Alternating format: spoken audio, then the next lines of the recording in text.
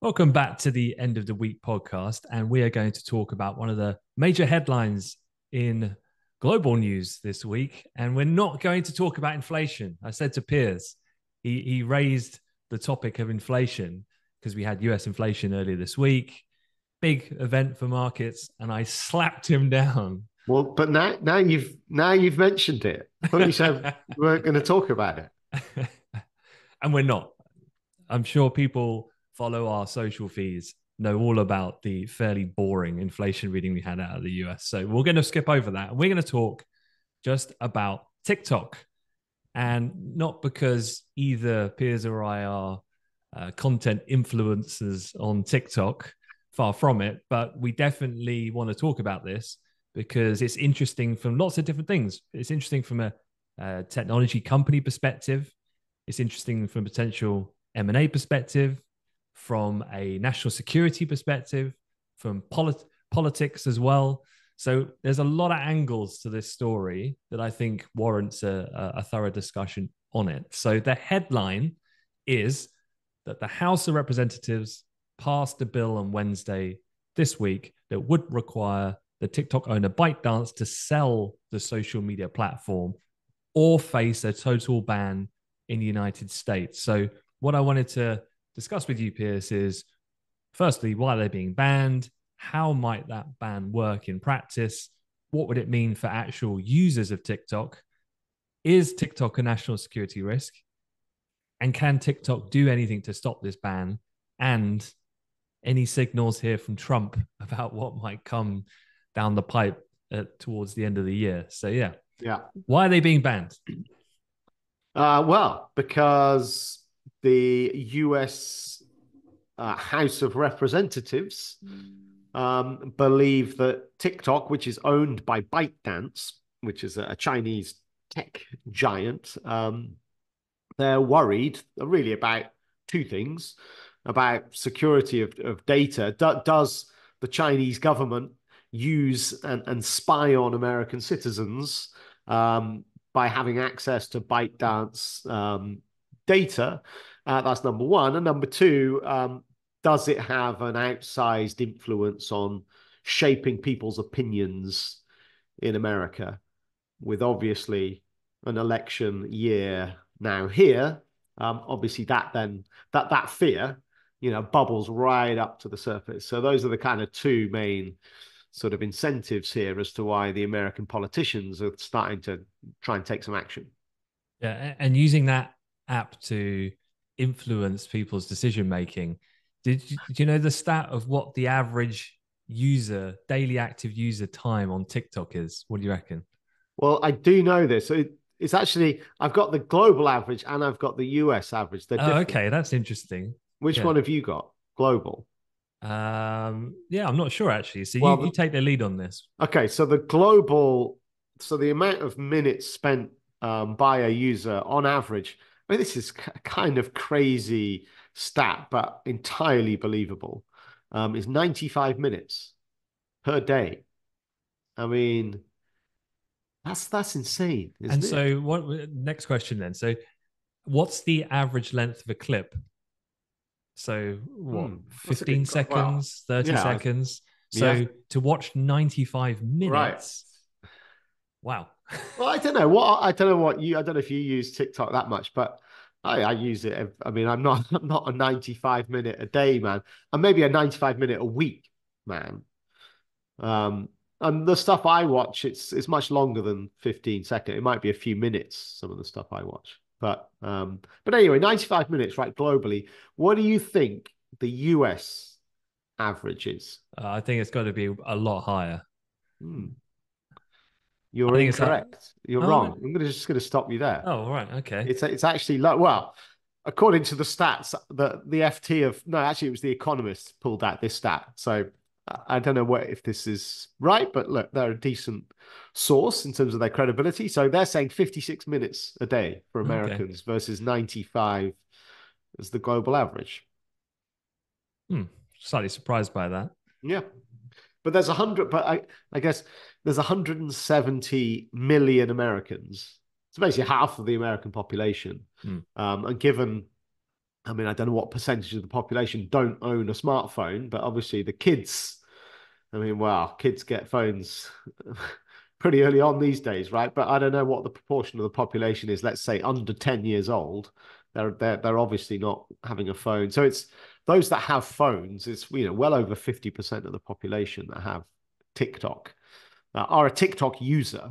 Um, that is. And so I, I guess, yeah, that, I mean, we could tackle that, you know, an outsized influence on shaping public opinion.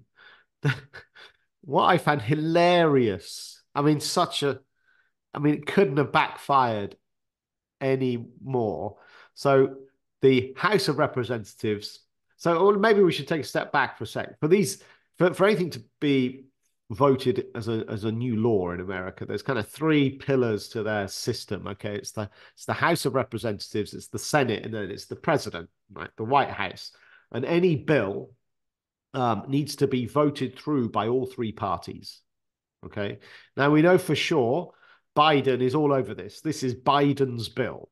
So you've got that you've got the White House in the bag. They will sign this off. Okay. The, Joe Biden will sign this off. Um, the House of Representatives, so they um, announced that they were going to vote on this bill on the 13th of March. Okay. On the 6th of March. And, and remember, one of the things that the Americans are worried about is TikTok influencing public opinion. So, what did TikTok do to try and stop this happening? On the 6th of March, they sent a notification to their users encouraging all of them to call their own members of Congress to try and convince them not to vote. So, there, and there were loads of congressmen that were on the fence here, not quite sure what to do. And then they saw that they absolutely do have an influence. This is the evidence of yeah. TikTok influencing a vote. And so that's why it actually turned out to be a landslide vote through. I mean, it, it got voted through 352 to 65. So this was a big bipartisan, you know, almost fully backed bill in the House of Representatives. And TikTok, a massive own goal mm. in hmm. their attempt to try and um, influence it. And so, just to be clear here, I mean, one of the things that the National Security Advisor, Jake Sullivan in the States, said is that the goal is ending Chinese ownership, yeah. not actually banning TikTok. Because I think the headlines are all like, we're going to just ban TikTok. Yeah. Well, there's two. Uh, so, I guess there's two solutions if this. So, well, hang on. Before we talk about that, I talked about the three pillars, right? So Biden's going to sign it. The House of Representatives, they've already signed that off, but there's still that third hurdle to get over. This now goes to the Senate, and it hasn't been voted through there yet. Only if it gets voted through the Senate will this actually, will this bill pass. There's then still a legal, a potential legal challenge that TikTok can present, uh, you know, around, you know, freedom of speech and, and this kind of stuff. But but will the Senate vote it through? Is really the next question. And here, it, it, I mean, obviously, you look at that House of Representative result and you think, well, surely it's just going to sail through. But there's a, a, certain guy who's who's trying to put a spanner in the works on that with his um, own influence. right. Well, exactly. So basically, and this is absolute classic Trump. So I'm talking about Trump here because I mean, I don't know. You you got you got to go back, but um, it was Trump himself that basically in back in 2020 for national security reasons um, was forcing ByteDance to um, divest TikTok. And so therefore, this is one of the options, right? TikTok, the US part of the business, um, ByteDance sell it to a US buyer. Okay. And Trump was forcing this in 2020. So Trump himself was doing this. Now, here we are in 2024. What's Trump saying? The exact opposite. Trump has now come out in opposition to this idea. Why? Because he's self obsessed and he has billionaire backers who are ByteDance shareholders. So self obsessed, right? Basically, you'll remember the 20 January 2021 riots on Capitol Hill in Washington, and obviously Trump um, has been accused of inciting those riots. Okay, and in response to that, he got deplatformed, he got cancelled, and Meta um, banned him from all of their platforms. Okay, now who would benefit from TikTok basically closing in America? Who who is TikTok's biggest rival? Well, it's Meta, right? And it, through Instagram. And so who would benefit if TikTok suddenly vanishes? Well, Meta and Instagram would be the beneficiary. But here's Trump saying, and he actually he said it. Who would be, Trump himself has said who would benefit the most? It would be Meta. And so I don't think this should happen. And basically, Trump saying, forget about national security now. he just wants revenge. Uh, secondly, there's a guy called Jeff Yass. He's um, the owner, uh, billionaire owner of uh, an investment firm called Susquehanna, um, and he's a big donor to Trump. Uh, Susquehanna happens to be one of the biggest stakeholders in ByteDance. So, of course, who else would would would get damaged here as shareholders of ByteDance? So, um, yeah, it seems like Donald Trump um, is playing his self-obsessed sort of uh, game here and, coming out in opposition, despite he was on exactly the opposite side of the argument four years ago. So, so that so the timing here seems particularly interesting because we have got you know the clock is ticking now down to the U.S. election, and these things, like you said, there can be legal challenges and so forth. They can get dragged out for a prolonged period. So, yeah, it will be interesting if I were tr- if I was advisor to Trump. What I'd be saying is right. We need to be having some backdoor meetings with Republican um, representees in the Senate and saying to them, right, we are clearly going to win this election. And I want you beside me when that time comes. So yeah. you're going to do this, which is you're you're not going to ban it. You're going to vote against it, and he will have his way. So yeah, I don't know. This seems when you explain it like that, particularly with the backing factor, yeah. um, you know, choice or no choice. I mean, if he serves his own personal agenda, he just wants power to be president. Come yeah. what may, everything else is inconsequential. I think that could be said of most politicians. Yep. Uh, in in that way. So yeah, I, I just wonder whether that actually is the secret here that's going to mean that this actually doesn't manifest into what a lot of the headlines are suggesting. Yeah, indeed. Um, but look, let's just say it does, right? Yeah. Let's just say Trump fails to influence this and actually the Senate vote it through. And let's just say, I mean, well, actually, let's just make another point here. The timing, as you say, is key, um, given the elections in November. But Biden's obviously wanting to get this done like before the election. I think Biden sees this as a real positive thing, you know, possibly um, in terms of his election race. But even if that, yeah, go on. I was just going to say, you said positive. Well, yeah, I wonder, I like, so the demographic. You said that okay, let's let's strip out the bottom end. So anyone younger than ten, any yeah. old school people who are not so sophisticated with their phone. So there's a large p- proportion of people who are who are TikTok users using it for an hour. You said in the US. If you ban it, yeah, I wonder, you know, if you were I wonder how much of a deciding factor that is. If you're impartial, neither this way or that, but you have a reason then to vote because you're like, I want to use TikTok, not thinking about the bigger picture. I wonder if that could just be a catalyst to tip the balance. Yeah, indeed. So there, there's definitely risk here for Biden. But anyway, it seems like he wants to ram this through ASAP. Um, but look, then there could be a legal challenge, and you know how long that could take. So chances of this getting done before November, I don't know, it's pro- probably unlikely, but um, you never know. But look, let's just say let's just say it happens, right? Then ByteDance have got well, they've got two choices. Um, one, they spin it off and sell it, and obviously that would be their preferred choice because the second choice is well, if they can't sell it, then well, they'll have to close it down, right?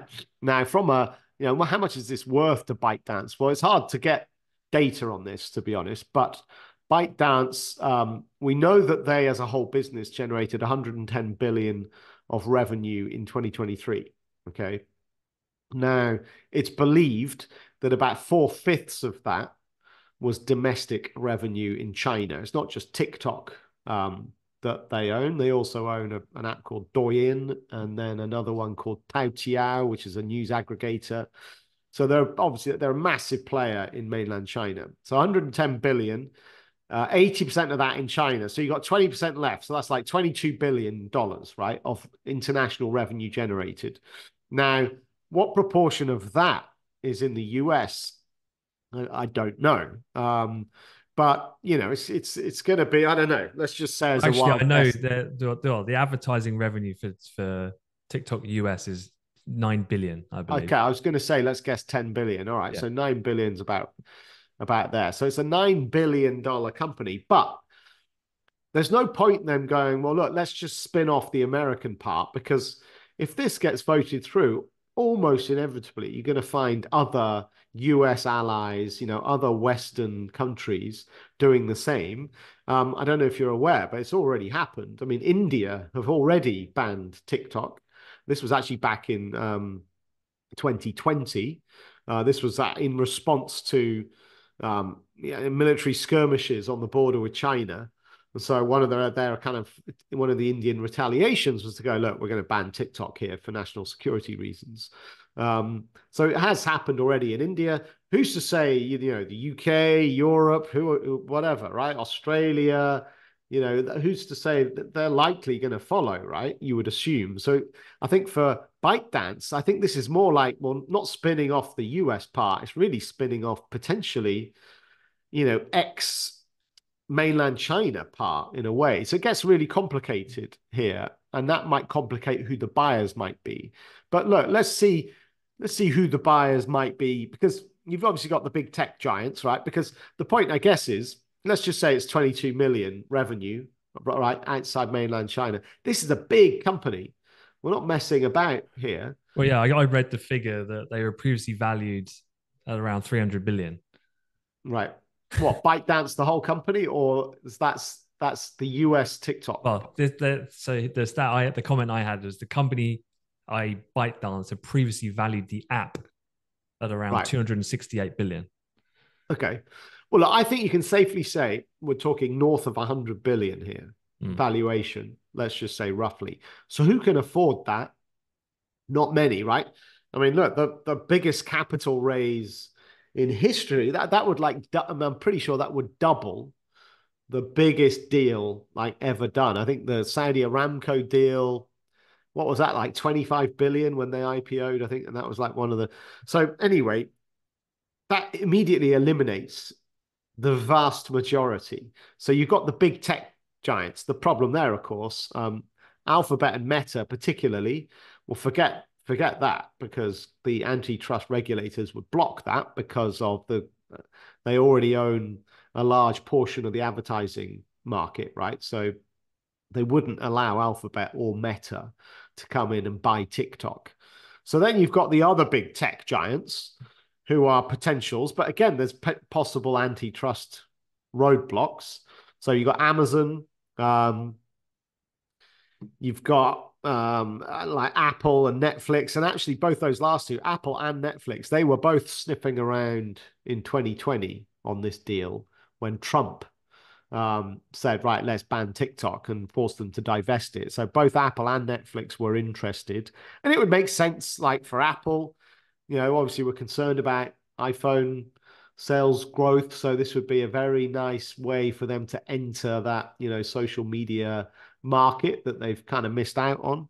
Uh, Netflix as well, you know, streaming subscriptions, you know, we're worried about growth on that. Um, so that makes sense. Yeah, I I guess one thing is is that in 2020, TikTok was like the emerging app, super like potential, growing at an incredible pace. And I think, yeah, their revenues might have gone from I think US one to nine billion in the last four years. Yeah. But one of the things here would be A, are you now going to pay too much because it's that much bigger? Uh, and then B, you're you're buying what s- appears to be a little bit like an app, you know, with with apps, I think you do always run the risk of with social media and the, you know the evolution, the change that happens so quickly Yeah. with technology that you can fall in and out of favor. Yeah. And it, you know, it was only 12 months ago, and we were kind of, you know, podcast titled The Deathbed of Facebook. And here we are, you know, they are Phoenix from the Flames sort of scenario. Yeah. Um, and, you know, flipping this on its head, a cou- couple of stats here, um, because Instagram overtook TikTok in new app downloads last year. And the percentages, I think, are quite quite meaningful. So Instagram's total number of app downloads grew 20% last year, Yeah. whereas TikTok was up 4%.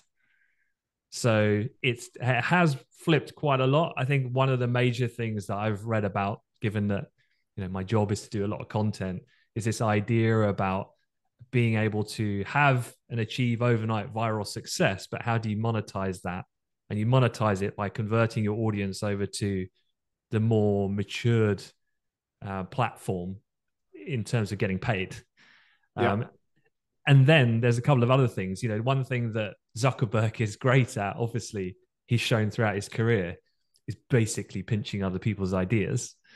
Um, and the real thing, which they implemented, uh, definitely has been a big game changer. Also, Instagram has benefited from ByteDance. I don't know if you ever see on Instagram, you'll you'll see that they are there are TikTok watermarked videos that Yeah. people share.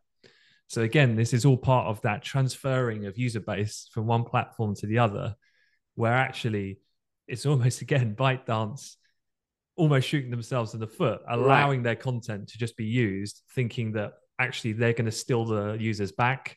Yeah. It just hasn't happened. No, and it just hasn't happened. So I just wonder then is, you know, what is the appetite of big tech Right. to even touch this thing? Right. So you you make a very very good point. You know, you can list off all these big tech firms, and yes, you could make a a business case as to why it might be a good acquisition for an Apple, let's say. But you're right. If they wanted to buy them in 2020, well, that'd have been a great, great time to buy them, and they've obviously had explosive growth. But here we are in 2024. It's a much maturer asset, and as you say, the trends aren't good, and in fact, their user numbers declined. Mm. So in quarter four of 2023, um, they were down 12 million.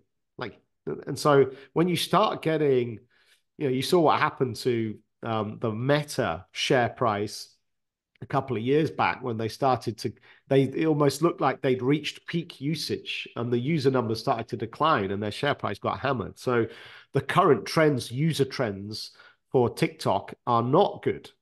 Um, and looks like Meta has really come That's it. back with their reels and, and stolen back the market. That's, that's another good point you made there, which is the demographic of the users. So Right. TikTok is incredibly narrow and concentrated on the younger end of the spectrum, whereas, as we know, Facebook kind of captures quite a multi generational demographic because they have the Facebook platform, which is the old the old geezers like you and I, and then you've got um, younger people who are still using Instagram. But one of the things here is because the two are so almost integrated that you get a blended usage case across people like you and I using Insta as well as using Facebook. Whereas would we use TikTok? I mean, I can say I never use it. I'm definitely. I, I think I clock about one minute a month. so I've got some Um, interesting stats here on right. Take the user, take the TikTok user base, and what other apps do they use? Right. So, for example, the highest crossover is, as you'd expect, Instagram. So, 80% of TikTok users also use Instagram. Right. Next, um, seven, 78% of TikTok users use YouTube. Then it drops off quite sharply. 53% of TikTok users use X. And this one really surprised me. Only 35% of TikTok users use Snapchat, Hmm.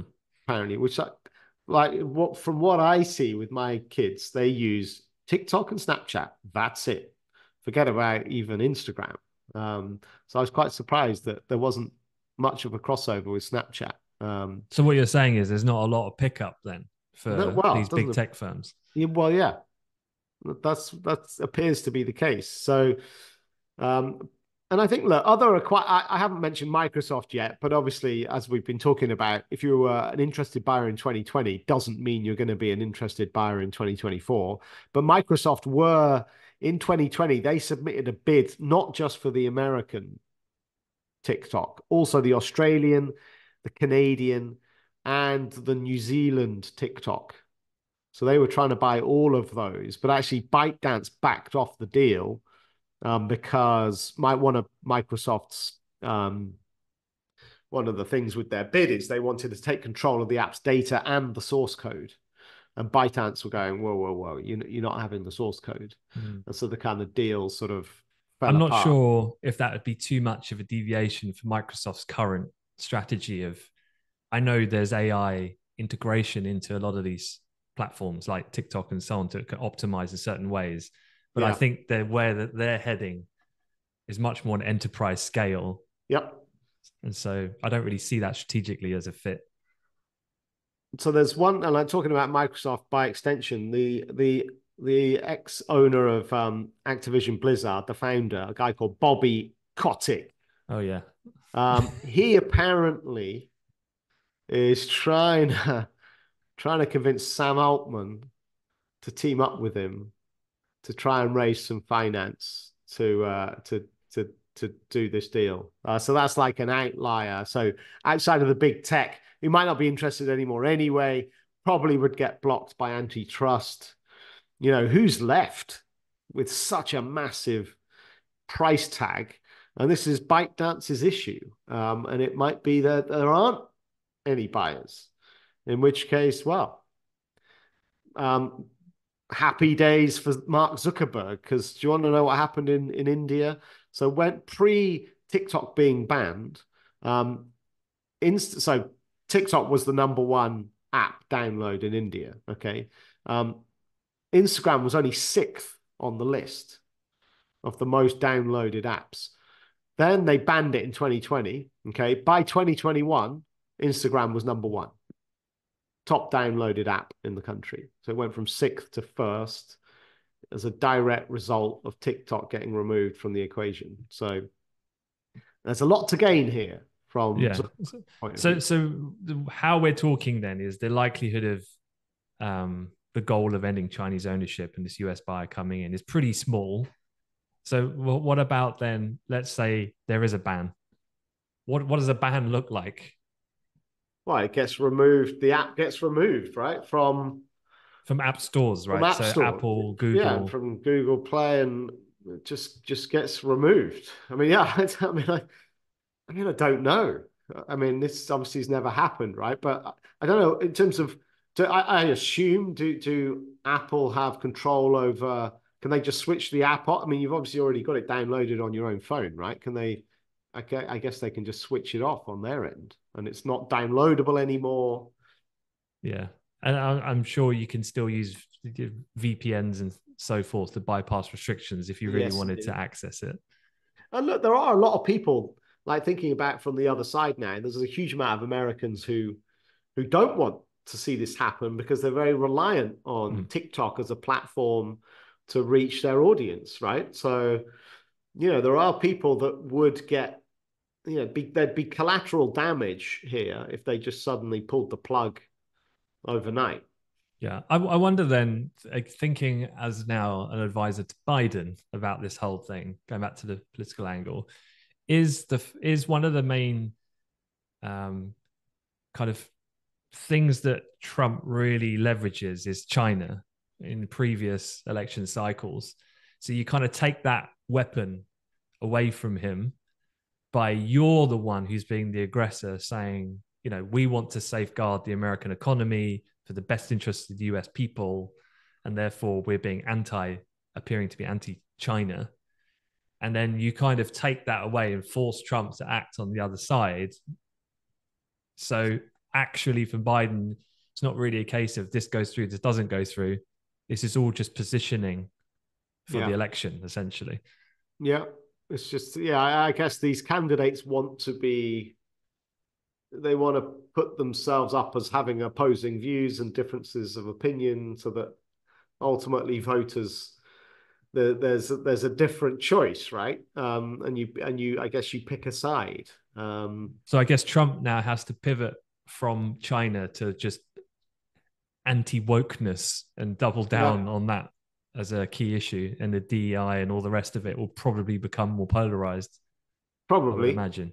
There are other things. I'm just looking here, like ByteDance. They have been trying to allay concerns, you know, around around the the kind of uh, the security risk. So they've actually they've actually um, enlisted Oracle, which is obviously a US company, importantly.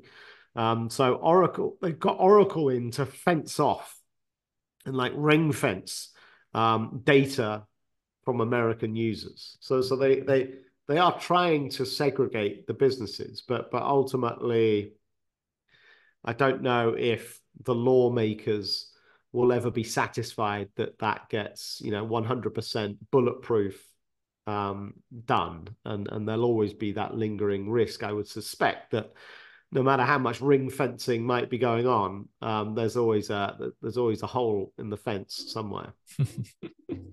when money's involved, Piers, there's always a hole to yeah. to find.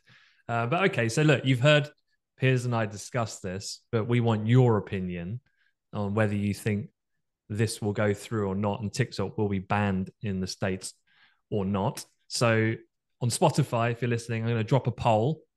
It's going to be banned, no ban or if you listen to this and you've accessed it via LinkedIn or the other social feeds, just drop us a comment and let us know what you think. And if there's anything we've missed and you want to add into the argument for or against, then uh, we'd love to hear. But yeah, thanks, Piers. No worries. See you later.